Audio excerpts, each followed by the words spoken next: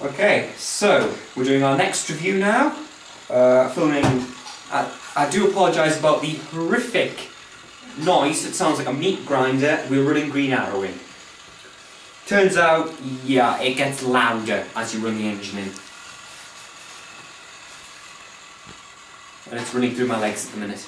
So here we have an LNER Teak observa observation car. It's not an observation car, it's a buffet car.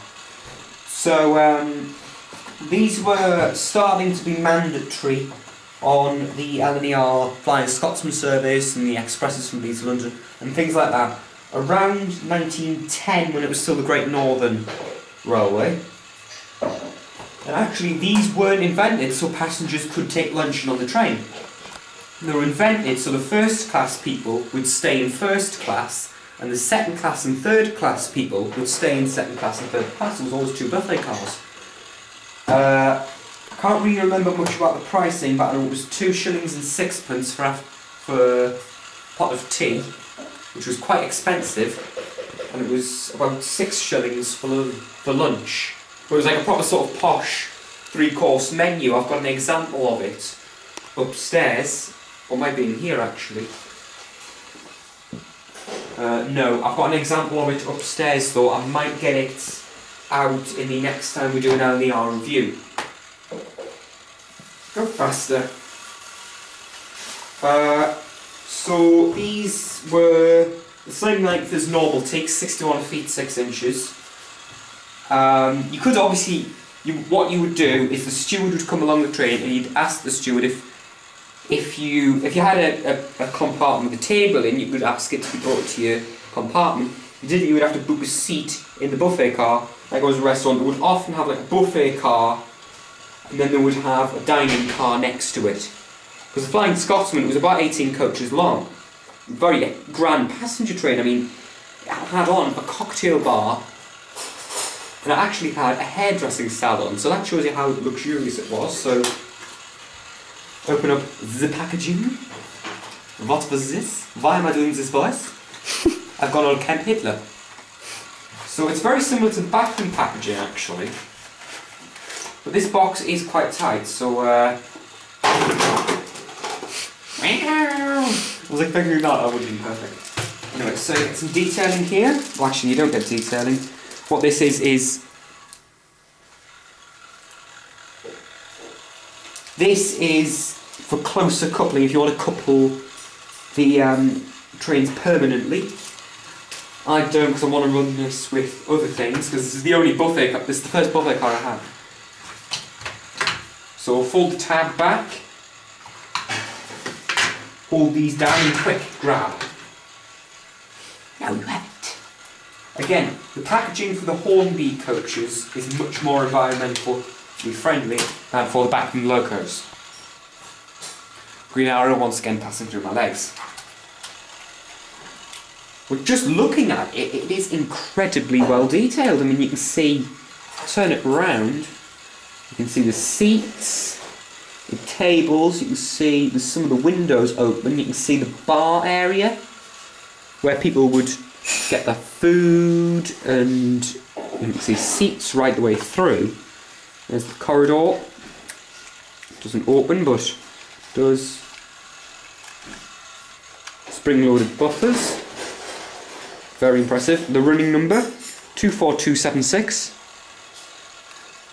And buffet car is actually etched on. You can feel the writing. Uh, I'm not sure how much this cost because it was a Christmas present. It's rude to ask how much a present cost. Uh, but Hattons are doing them for £47. Uh, the undercarriage detail, again metal bogies, it's a NEM coupling on both sides. But can you back off a bit and zoom in? You're invading my personal space. Hurry up for God's sake! Um, sorry to any vicars watching this. Uh, again, you get the undercarriage detail, the teak. Lovely. It's actually a paintwork, but it's made to look like. Sorry.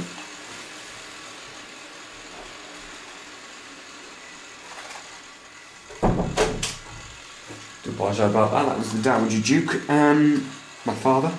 The Duke of Stonton Grange, by the way. Hello.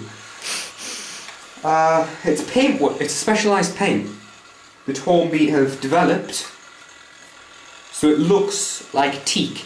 These were nicknamed teaks, the carriages, because they were made out of teak wood, uh, which is probably one of the most strong woods you can get. I'm not an expert in uh, field of carpentry, but I think teak is very strong, and I'm fairly sure that teak is what my piano is made out of. Or oak, I'm not sure. Um, so, sorry, I'm going to speed arrow up a bit. I know you're not supposed to do that when you're running in, but mm, sorry. Um, again, the detail is very good. Um, you can see again some of the windows have been opened. Uh, you couldn't smoke in the buffet car, or the dining car, or the kitchen car, because what you used to do is there would be three, the buffet car in the middle, you'd have the kitchen car here, and you'd have the dining car here. And then you would have obviously first class coaches here. There was very few first class coaches because they made the majority of their money by second and third class passengers. So it is a very good coach. Just pop it down there. And if I had an LNER loco on me that wasn't completely and utterly not finished at running in, cough cough green arrow, uh, we would show you running it. So what we're going to do is we're going to come back in about 20 minutes after we've had lunch and after I've emptied my bladder and we're going to see what it runs like. Well, we know what it's going to run like, it's a bloody coach. But we're going to see what it looks like behind an LNER loco. And cut.